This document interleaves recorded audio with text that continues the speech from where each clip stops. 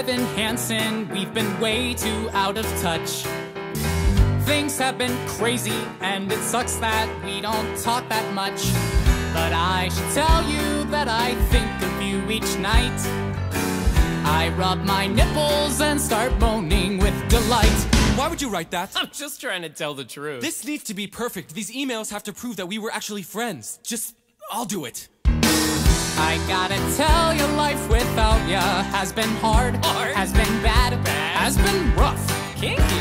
And I miss talking about life and other stuff. Very specific. Shut up.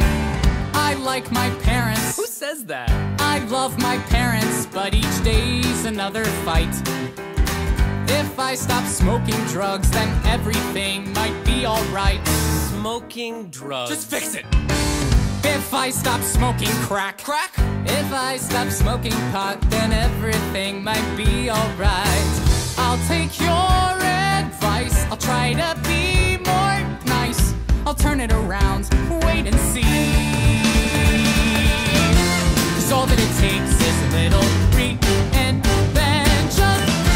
It's easy to change if you give it your attention. All you gotta do is just believe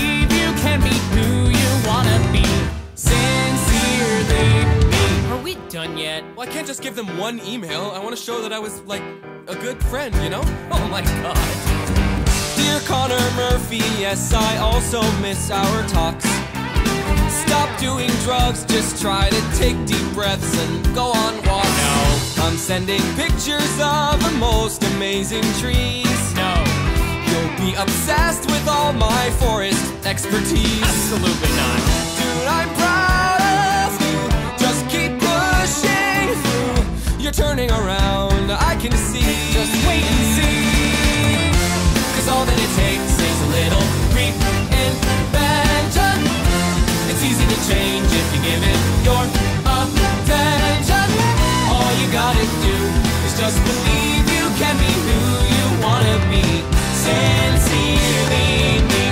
Sister's hot. What the hell? My bad. Dear Evan Hansen, thanks for every note you send. Dear Connor Murphy, I'm just glad to be your friend.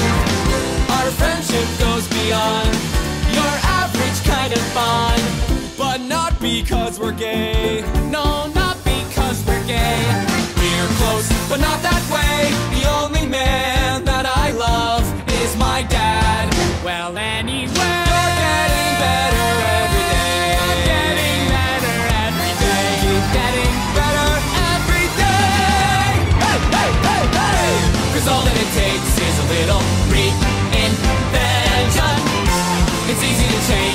giving your all attention.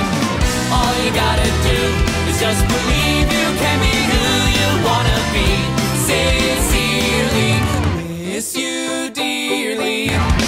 Sincerely me. Sincerely me. Sincerely me. Sincerely me.